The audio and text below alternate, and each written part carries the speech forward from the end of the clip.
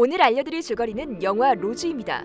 여기 아일랜드에 위치한 성 말라키 정신병원이 있습니다. 폐원이 결정된 1990년대 초 병동을 호텔로 리모델링할 예정이었던 이 병원은 보호자 없이 장기 입원 중이었던 환자 로즈 클리어가 이송과 퇴원 모두를 거부하자 난감한 상황에 처했는데요. 이 때문에 병원 측은 로즈의 강제 이송을 행정기관에 신청했고 그 심사를 위해 가톨릭 대주교실의 추천을 받은 정신과 의사 그린 박사가 성 말라키 병원에 오게 됐다는 설정이 영화의 핵심 배경입니다.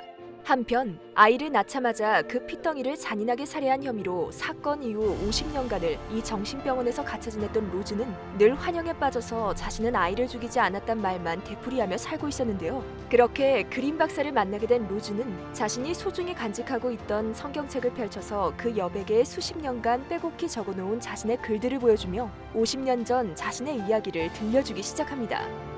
50년 전, 그러니까 2차 세계대전이 절정이던 1940년대 초, 800년간의 영국 지배에서 벗어나 이제 막 독립을 이룬 아일랜드는 그동안 영국인들에게 당했던 종교적 차별과 인종적 멸시로부터 생겨난 뿌리 깊은 반영 감정 때문에 중립국을 선언하여 전쟁의 참화를 비껴난 상태였는데요. 이에 로즈는 나치의 폭격이 시작된 북아일랜드 벨파스트를 떠나 이모가 사는 아일랜드의 발리티반으로 피난을 오게 되었고 그곳에서 운명의 남자 마이클 맥널티를 만나게 됩니다.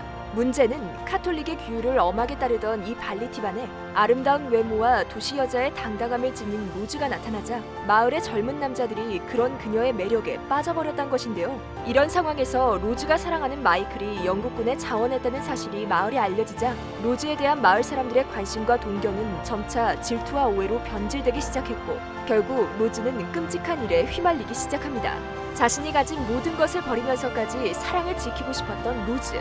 그런 로즈 가 왜 미쳐버린 것인지, 왜 자신의 아이를 죽인 것인지, 이 모든 걸 연기한 루니 마라의 놀라운 열연을 감상할 수 있는 가슴 아픈 사랑 영화 로즈의 개봉일은 2017년 4월 13일입니다.